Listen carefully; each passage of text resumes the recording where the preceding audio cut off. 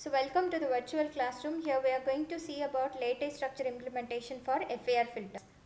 So this slide shows you how to write an FIR filter difference equation for first order and second order.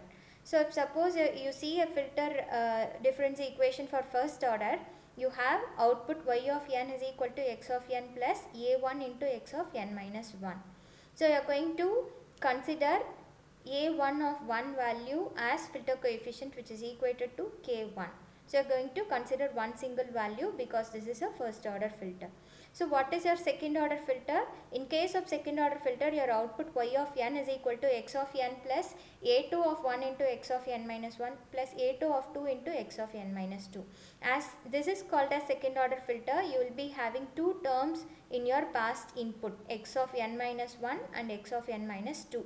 So in this case the second term x of uh, filter coefficient associated with x of n minus 2 uh, is directly assigned equivalent to k2. k2 is equal to you simply directly assign it to a2 of 2 but it is not possible uh, it is not easy to write k1 is equal to a2 of 1 as it is. You have one simple formula to remember.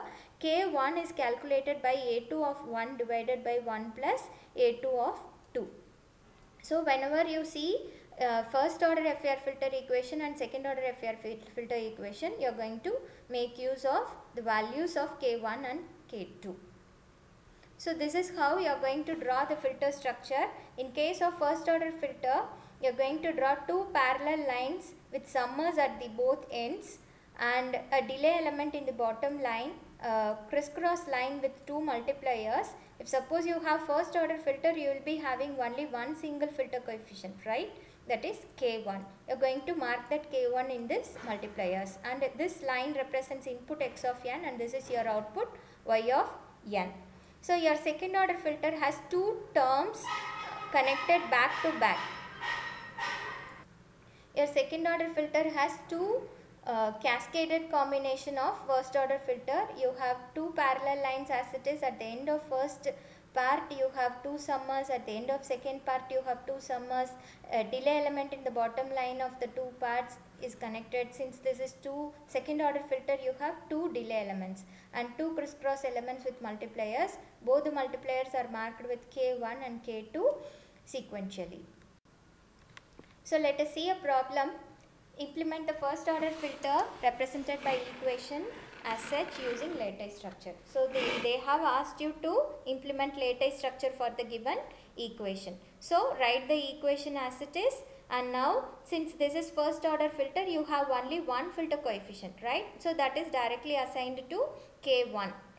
So you draw the uh, filter structure as I said earlier and in this case the crisscross line marked with multiplier have to be marked with this given corresponding value 0.93. So that's it. This is how you are going to implement for a first order filter. Very simple. Let us move on to next example. So this example says how to implement lattice structure for second order filter. So they have been given uh, y of n is equal to x of n plus 0.82 x of n minus 1 plus 0.75 x of n minus 2. So you are going to uh, decode the given values. Since this 0.75 is associated with the term x of n minus 2, you mark it as a2 of 2. And 0.82 is associated with the term x of n minus 1, you mark it as a2 of 1. Okay, and in the reverse manner, you assign 0.75 as a direct value to k2. But in this case of 0.82, that has to be formatted using this simple formula uh, in order to find the value of k1. k1 is equal to a2 of 1 divided by 1 plus a2 of 2. That, that gives you k1 is equal to 0.468. So now since this is your second order filter, you are going to draw two structures of single uh, first order filter. So in this first crisscross line multiplier K1 is marked with the value which you have calculated before 0.468 and in this section of multiplier you are going to mark the value of K2 which is equal to 0.75 and this is your input line x of n and this is your output line y of n and since you, this is your uh, second order filter you have two um, delay element at the bottom line. Okay. So whenever you come with a third order filter, if the order of the filter is increased, the complexity of uh, the filter implementation or calculation of K1, K2, K3 becomes little complex. So a different method have to be followed.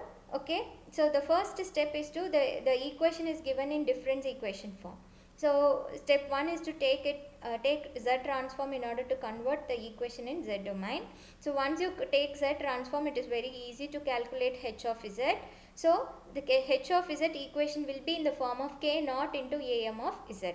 So this AM of Z can be written in reversed order in order to find BM of Z.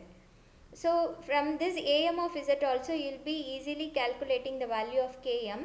So by making use of AM, BM and Km, it is easy for you to calculate AM minus 1 of Z and this step 2, 3, 4 will be keep on repeated until you reach A1 of Z. And uh, in, in each and every repetition or iteration you will be calculating in this reverse manner K3, K2 and K1 will be calculated. Okay, so the this steps, this step and uh, step 2, step 3, step 4 related formulas have to be kept in mind in order to solve this problem. Let us get into a problem. So here is a problem. Implement the given FIR filter in lattice structure. y of n is equal to 2x of n plus 13 by 12 x of n minus 1 plus 5 by 4 x of n minus 2 plus 2 by 3 x of n minus 3. So step 1. Step 1 is to take Z transform for the given difference equation. It is very easy to take Z transform. X of Y of Z is Y of N is written as Y of Z. X of N is written as X of Z. N minus 1 is associated with the term Z power minus 1 into X of Z. N minus 2 is associated with Z power minus 2 into X of Z. This is written as z power minus 3 into x of z. In all the four terms, you take x of z as a common factor and write the remaining portions as a equation.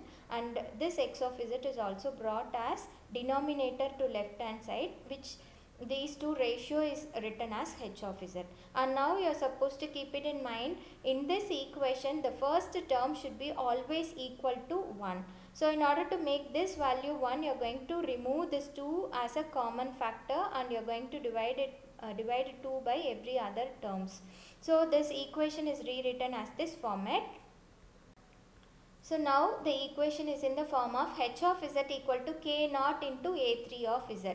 So according to the previous equation k naught is equal to 2 and the remaining part of the equation is written as a3 of z. So in this a3 of z it is very easy to calculate the value of filter coefficient k3 filter coefficient of K3 is very simple. It is the coefficient of Z power minus 3.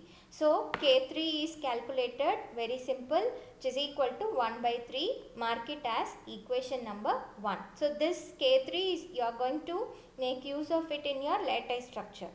So next step. So uh, you are going to write the value for BM, B3 of Z. So how do you write B3 of Z? You have A3 of Z over here.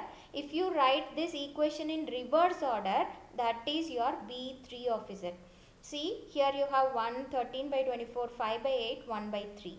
So see here, it is written in reverse format. 1 by 3 plus 5 by 8 plus 13 by 24 plus 1. So just reversed format of this a3 of z gives you b3 of z. Already in equation 1 you have calculated k3 which is equal to 1 by 3. So now in step 4 remember this equation you have a3 of z and now we are going to calculate a3 minus 1 of z that is a2 of z you are going to calculate. What is the formula? Write a3 of z minus k3 into b3 of z divided by 1 minus k3 the whole squared. A2 right. So A2 carries 1 plus 3 by 8 plus 1 by 2 which can be written as 1 by 2 plus 3 by 8 plus 1 associated with these delay element terms. Okay, so this is your B2 of Z and we have the value for K2. So now we are going to find A1 of Z. A1 of Z is equal to A2 of Z minus K2 into B2 of Z divided by 1 minus K2 the whole square. You just simply write the equation of A2 of Z minus K2 which is equal to 1 by 2 and B2 is equal to this term. You multiply 1 by 2 inside all these terms and you just simplify keep on simplify and you will be getting a value for a1 so a1 you look upon this a1 in the reverse format the coefficient of z power minus 1 will give you the value for k1 so this you mark it as equation number 3 so with this our calculation is over. With this our calculation is over. No need to go even for st step 7 no need to write your even st step 7 you just omit step 7 so in the previous three equation you have calculated k1 k2 k3 so equation 1 2 and 3 gives you for k1 k2 and k3 as k1 1 by 4 k2 1 by 2 and k3 as 1 by 3 so these three values which are interested which we are interested in all these entire solving expressions right? So with all those k1 k2 k3 values you are going to draw the structure for third order filter. Third order filter is uh, cascaded back to back connection for a single order FIR filter. You are going to connect back to back combination in your bottom line you have three delay elements. In a, end of uh, each part you have two summers and uh, uh, both the summers are having a crisscross line with multipliers.